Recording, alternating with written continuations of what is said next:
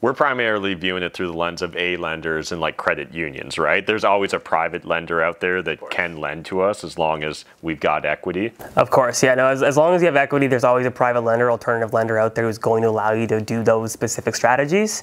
Mm. But from an A lender's perspective or a credit union lender's perspective, it's all about risk mitigation, yeah. right? And that's a lot of risk that they're not willing to take. And unfortunately, they have a hard stop for the majority of those uh, investment solutions. What is up YouTube? Matt McKeever here and in today's video we're going to be discussing exactly what do your lenders want when it comes to your leases. I know a lot of real estate investors have frustrations around this subject matter because they think I, I've had a tenant living here for three years. How would that be a bad thing? And then when it comes time to get their financing, their lender's like, we need a tenant acknowledgement, or we need a new lease, or we need this, that, and the other. So today, the guys from Findlay, Josh and Ehren, are going to demystify this entire process around what lenders want when it comes to your leases. Let's jump into it. What is up YouTube? Matt McKeever here and I'm really excited for today's video because one, we've got Josh and Ehren from the Findlay team back, but today we're going to be specifically talking about lenders and leases. And so I know that this is both kind of a mystery box for some investors as well as a point of frustration sometimes when I've got my property rented out, what more do you want from me? But it turns out sometimes just having a person living there isn't enough. You need some documentation. For sure, yeah. No, we, we, we found that we run into a handful of different situations where um, there's leases that are either in place or expired and people are always wondering about how can I use those leases or how can I use my rental income to help me qualify. So we thought we'd make a video explaining what lenders are looking for in a lease and how we can use them. Mm-hmm, absolutely. So, I mean, the timing of your lease can obviously come into play. Um, you know, for example, and we're going to touch on this in a little bit, but you know, if your lease hasn't come into place yet, or maybe that lease is, uh, you know, potentially going to expire in the middle of a transaction, um, how do lenders move forward, and are you still able to use that lease, and, and what uh, kind of strategies do we have? So, um, starting off, we're going to start off with leases for the subject property. So, just for those of you who don't know, a subject property is the purchasing property on an application, the property you're going to be purchasing. So ideally from a lender standpoint, which is going to be quite opposite from an investor standpoint, uh, lenders want to see a lease in place, um, ideally when moving into a property or, sorry, when they're purchasing a rental property. Now, obviously from the investor standpoint, a lot of the investors like to have vacant possession, so uh, a little bit opposite views, but uh, there is some ways that we can still use the rental income to be able to uh, qualify on the application. So um, if there is no lease in place, we can use something called the fair market rent value. Um, so it's a market rent letter done from an appraiser. The appraiser will go out, use some comparable values for other homes in that area that you know are similar type homes, same structures, um, and they'll give us a range of the lower end and to the more maximum end. Um, so the lenders will typically use the lower end of that value. Um, and the downside using the market rent versus a lease is that the market rents are typically a little bit less in value than what yeah. the, the, lease is going to be. Despite the name, it's not usually quite at the top of the market. Yeah. Yeah. So, so something to consider for some A lenders, depending on who you're looking to place your mortgage with, is that they'll only allow you to actually use 65% loan to value um, if you're using a fair market rent report. So, I mean, not all lenders are like that, but some lenders, um, depending on the caliber of lender you're looking to get, will only allow you to use a certain loan to value for that. So keep that in mind if you're purchasing a property, you might have to put more of a down payment down if you're buying a vacant possession rental right. property. Mm-hmm. Yeah, and that just goes to you know back to some of our other videos where we've shown a lot of love towards the B lenders. Um, you know, on the B side, if you do have to use market rents, you know they don't require you to pull back to 65% loan to value. You know they'll still still do a one to one to two unit purchase at 80%, and uh, some three to four units sometimes they go to 75%. But still, you know, much better being able to use the market rent and qualify to help on the offset um, than you know not using any rent at all. So uh, it's a bit of a win situation for sure to be able to use that. The, the next thing we want to talk about was non-subject properties. So when we talk about non-subject properties, we're explaining uh, the other properties in your portfolio. So not the property that we're specifically focusing on the financing for. So non-subject properties, um, how we look at uh, rental income on that, it really depends on how long you've had the property for. So if you have the property for more than a year, most lenders want to see that you have it on your statement of real estate earnings on your T1 generals. Mm-hmm. It's an easy way for them to verify the costs of the property, so your property taxes, yeah. um, all the maintenance, all that good stuff in there. So it allows them to verify you are telling the truth in regards to the numbers that you're claiming. Um, in regards to needing leases in place for less than a year, most uh, lenders want to see at least a lease signed so they can verify it, and they might look at bank statements to verify that you've had that consistency in uh, income coming through for those properties. Mm-hmm. Yeah, and then just continue on that as well too. Um, depending on, like Josh said, if that lease hasn't been in place yet, but maybe that lease is going into place uh, at some point on a non-subject, uh, typically, the lenders will allow you to use the rental uh, income on the lease as long as that lease is going to take effect within the 30 days after closing. Um, so some lenders will allow that, and they may want to see a tenant acknowledgement form signed by the tenant as well too. So it's basically just a declaration from the tenant stating that they will be moving into the property and, and paying that set up amount of rent. Um, and then in some cases too, which gets a little bit um, tricky, but sometimes the lenders may want to see a deposit from the tenant as well too.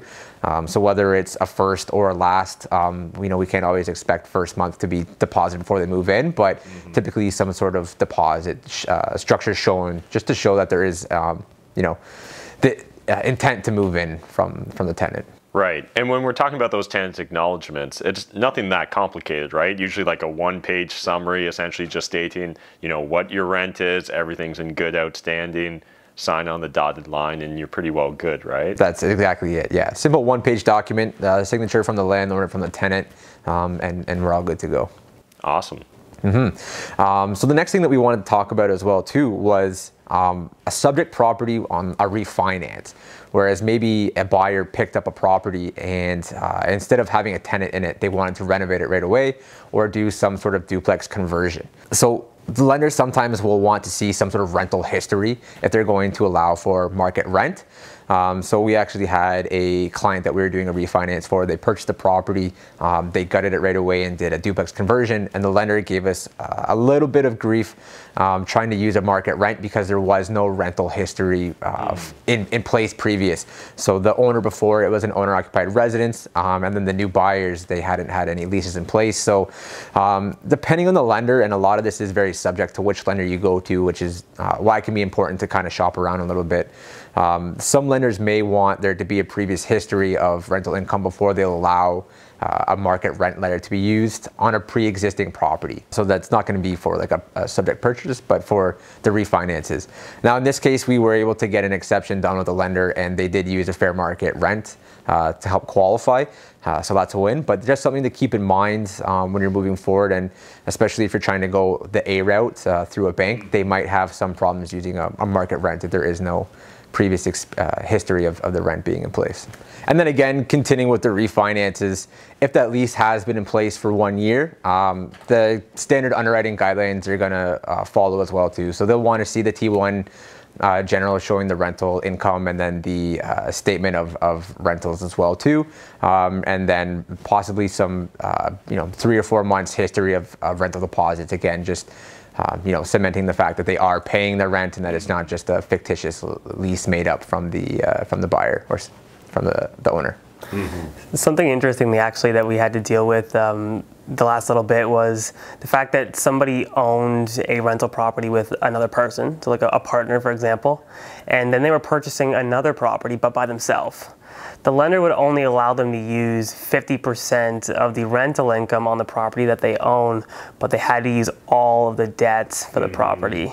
So there is something to be said about purchasing property with other people and it, how it might affect your application moving forward as well. Yeah, I know from a personal experience that that was actually a major mistake I made with A lenders when I was first building my portfolio. I was buying student rental properties with two buddies so there was three of us on title on the first two properties, and it became almost impossible to be able to qualify because they would only take a third of the income, but I had 100% of the debt. So again, that's where I was just dealing with a generic employee at the bank. That was my mistake for not taking responsibility. But if you actually sit down with professionals that are going to think more about more than just this transaction, but how that impacts your future transactions. That's really the value in having someone like on your power team that works with investors on a regular basis.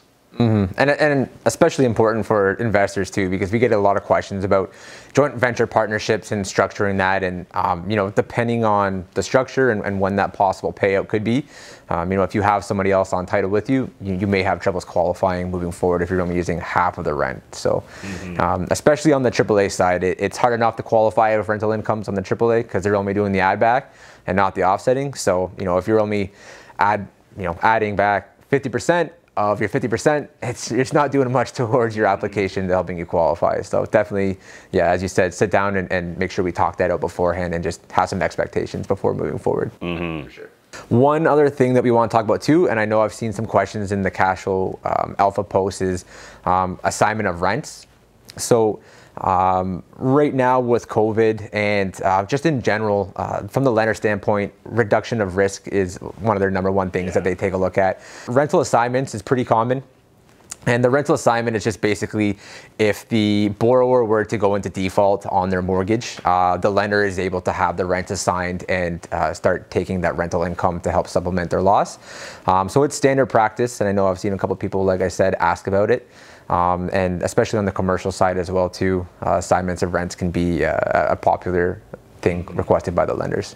So one of the things that uh, most lenders will also look at for rental properties is something called a rental reserve. So whether that's a commercial property and they want to see that you have money available to be able to take care of expenses, or just a regular rental property, we're seeing quite a bit of lenders now ask for three to six months of rental um, costs in their bank account to be able to purchase the property.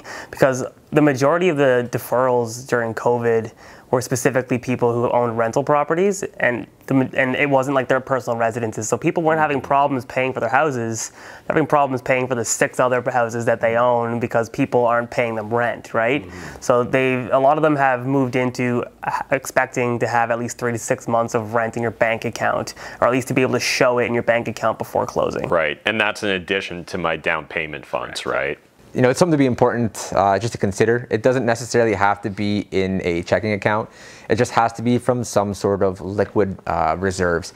Um, so that does mean that it can't come from any RSPs or RESPs, but like I said, TFSAs or some Yeah. sort of liquid account, uh, the funds are able to come from there as well. So just some other important aspects that we, you know, we want lenders or borrowers to consider when moving forward. Um, one of them is like what happens if your lease is not in place yet. So like we said, if you're looking to make a purchase and your lease hasn't come into place yet, most lenders will allow you to use that rental income on the lease as long as it is set to go into place uh, within 30 days from the time of closing. Um, and then they will want to see again that tenant agreement form uh, signed by yourself and the tenant, and then preferably some sort of last month's deposit, just showing that there is that commitment uh, coming from the tenant. So yeah, one of the things we want to talk about really quickly was what happens if I have short-term renters in my uh, Yeah. in my house. So Airbnb, for example, guys, it's a great way to make money. It's a really hard way to get financing. Um, there are some creative ways we've seen to be able to do it, but the majority of lenders want to see you have a lease in place for a rental property, and you can show consistent income going to your bank account from the lease. It, it's really important that we look at the full picture as an investor, right, and what the different implications are. We've actually talked about this on some other YouTube videos. So if you guys dive into some of our older Airbnb content, we might actually kind of lay out for you guys perhaps a path that more lenders will be comfortable with in regards to that. But if you're straight up just renting out your unit on Airbnb and there's no other infrastructure or paperwork structure behind that, it's probably going to be like two years, right? That they're going to want to see a history of, or what's been your experience? it, it even it's even difficult with two years. Uh, a lot of a lot of lenders are having a really hard time in general with it, as soon as you say the word Airbnb or short-term Gotcha, rentals, it's basically an instant decline. Gotcha. Yeah, there are ways to obviously do it, as Matt was saying. You know, look at those videos, see how you can structure uh, properly to be able to show income in a certain way, and there are ways to get around it. But if you just have an Airbnb rental and you want to refinance, or you're you're, pro- you're gonna have an issue. Mm-hmm. Good to know. Yeah, and then continuing on that same type of um, secondary rental properties, student rentals are another issue um, that lenders uh, come across as well too. So, you know, whether you're looking to purchase a property in a major student rental area, so you know, super close to a university or a college, um, or whether you know you're looking to actually purchase a student rental, Um, you know, if a lender sees that lease and, and it's got, you know, six, seven, eight kids on there and, and they can tell that it looks like a student uh, lease, you know, they're probably not going to allow you to um, either use that lease to help qualify or they may not even lend on that property to begin with, depending on how close to the area. Um, it could depend on what your goal is. You know, if you're looking to just purchase a home um, or, you know, purchase a rental property, I should say, in an area that is you know relatively inundated by other student rentals. If you have some plans, uh, you know some sort of quote, uh, something that's going to show that you're maybe changing the the property to turn it into uh, like a family rental, they may allow that, but it's going to be pretty heavy work, um, pretty reliant on the on the paperwork, um, and the chances are still pretty slim that they will either allow you to use that or even put the money out on the property. Right, and then kind of just building upon this entire narrative of Airbnb and students, we're primarily viewing it through the lens of A lenders and like credit unions, right? There's always a private lender out there that can lend to us as long as we've got equity. Of course, yeah. No, as, as long as you have equity, there's always a private lender, alternative lender out there who's going to allow you to do those specific strategies. Mm-hmm. But from an A lender's perspective or a credit union lender's perspective, it's all about risk mitigation, yeah. right? And that's a lot of risk that they're not willing to take. And unfortunately, they have a hard stop for the majority of those uh, investment solutions. Mm-hmm. Yep. Absolutely. Um, and then one other point that we wanted to touch on too is, you know, what happens if my lease was about to expire in the middle of a transaction? Um, so we actually just worked with a client who had their lease um, expire in the middle of the transaction. He already had another lease in place, which hopefully the majority of investors out there are aware of when their leases are in place and when they're going to expire and keeping in track of uh, all the important details. Um, so he was preemptive enough that to had a lease uh, signed and in place. Um, we were able to get that lease over to the lender, have a tenant acknowledgement form signed, and show them the down payment, um, and the transaction was able to uh, smoothly continue. In the case that you may not uh, have realized your lease was about to expire, um, we would have to talk to the lender uh, to inquire about an exception to be used for fair market rent. Um, and it's just a keynote there. It's important to you know let your mortgage agent know that if it's about to expire because uh, we may preemptively have to use a fair market rent value ahead of time because of what we're qualifying for and how we submit the application. If we submit an application using uh, rental income from the lease and then we go down to a fair market rent value, there may not be enough offset or extra rent to add back to help qualify. Because um, some of the situations with investors are pretty tight on their debt ratios and a lot of them are relying on the rental income to help qualify. So important to think ahead and, and be aware of when your leases expire. Awesome guys. Well, I really appreciate this. Josh and Ehren dropped a lot of knowledge in this video. So if you guys are interested, we're going to throw a link to all their contact information down below. As always, really encourage you guys, if you're looking to add someone to your power team, why not add these guys, which have been constantly just dropping knowledge on my YouTube channel for, well, it's been months now, every Friday, right? Every Friday is Finance Friday here on Matt's YouTube channel. So anyways, appreciate you guys watching this video. Smash the like button, hit the subscribe button. I'll see you in the next video. That's it for this video. Really appreciate Josh and Ehren just breaking down for us what our lenders want from us when it comes to our leases. And if you guys didn't know, the Findlay team, they're literally going to be live right this second on their own YouTube channel answering your questions. So if you just watch this video when it dropped because you're on my notification squad, well, you're in for a special treat. Jump over to the Findlay Team's Mortgage uh, YouTube channel right now. Hit them up with your questions. They'll be answering in real time. And we're thinking about continuing this process. So if you love this idea, jump in the comment section, let us know down below. And also, as always, links to all the guys' contact information in the video description. I'll see you guys in the next video. Smash the like button, hit the subscribe, all that good stuff. Thanks.